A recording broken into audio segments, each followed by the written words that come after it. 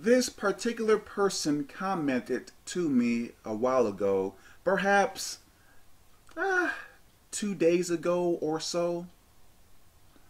This person was saying to me, Hey, I am having problems with demons. How can I get rid of the demons? And I know that some other people may want to know the answer to this as well. And from what he was writing me, I could see that he was looking for a quick fix. And I was thinking, and what I said to him, no, there is no quick fix. So pretty much, to make this easier to understand, like he was looking for like something that he can do or something that he can say to get rid of the demons that he was having trouble with. No, there is no quick fix.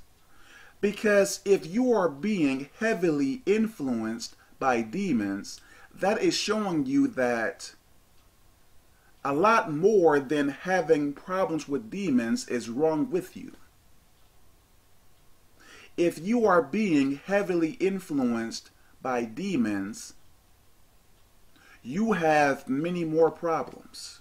Many more. Way more. So, trying to find a quick fix is not going to work for you or work for anyone. You have to change your entire life. You can't continue to have sex before marriage or continue to curse people out or continue to do all of these disobedient things, disobeying God's rules and regulations, you can't do all of these things and believe that everything is going to be okay. Does that make any sense? So the demons come when you choose to disobey God. So a quick fix as in saying some words or doing a few actions is not going to work. What is going to work is you changing your life, you getting out of sin. Does that make any sense?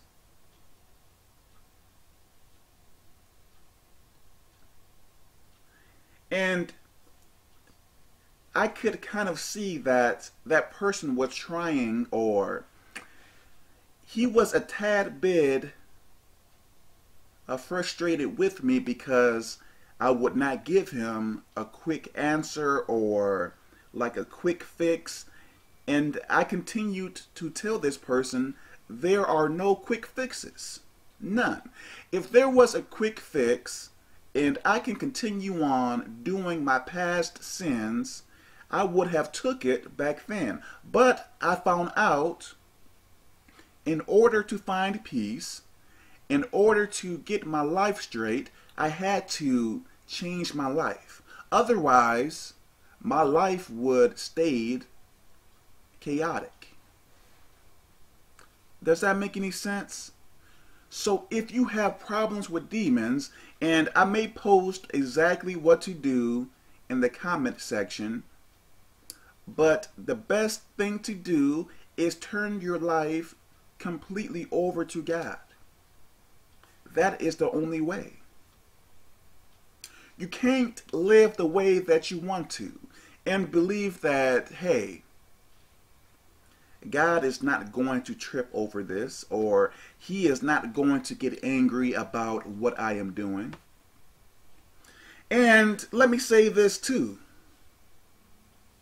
Some people may believe that they are good people meaning that like hey i don't do many or any of the major sins yes i may sin but or they may not even consider it sin well you know i go to work i pay my taxes You know, I give to people. Yes, you know, I don't repent of my sins. Yes, I still curse. Yes, I still cheat.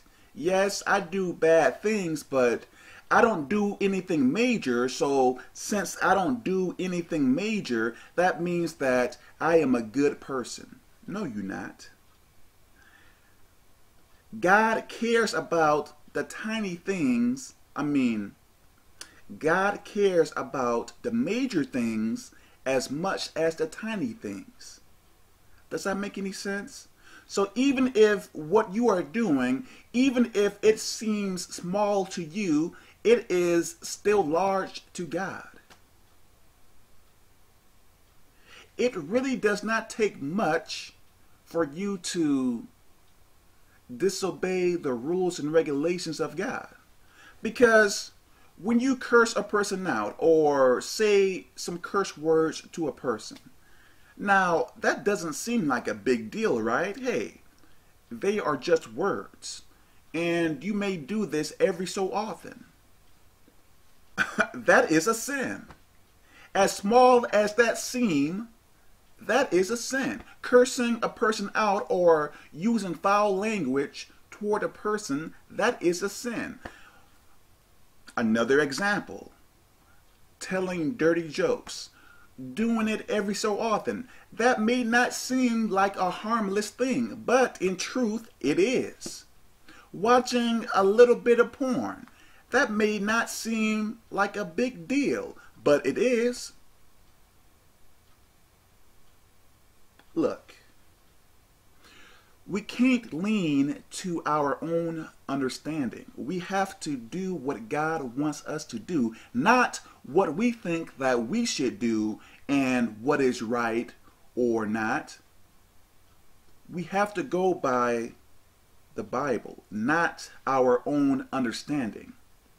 Things may make earthly sense, but the earthly sense is going to send you to hell.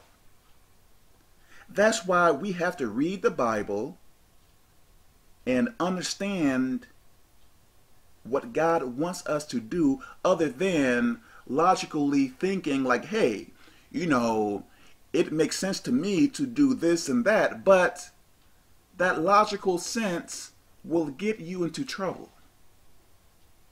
So you have to renew your mind. You you have to change your way of thinking and go by the way that God wants us to think. So, yes, you may be a smart person. You may have made great grades in high school, college, or other organizations. Yes.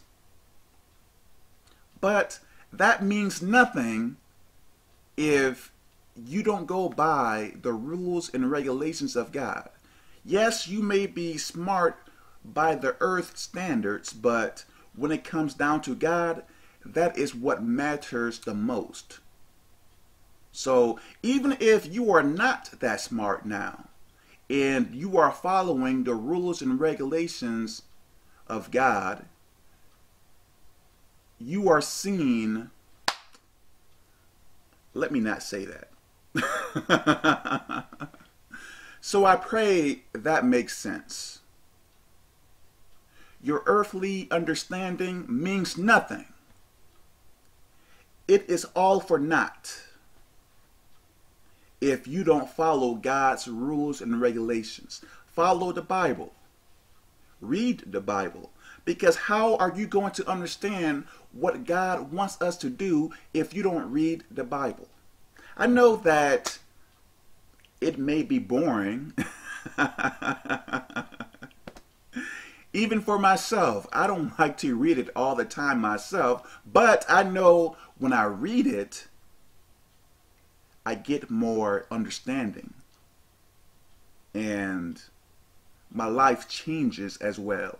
So, really take heed to this. If you are having problems with demons, there is no quick fix.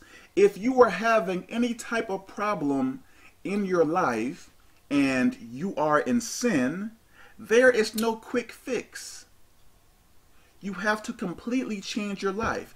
Like you can't do this one step or two step thing and believe that your problems with demons is going to be over when you do that certain thing. It does not work that way. So sometimes, well, let me stop there. God bless.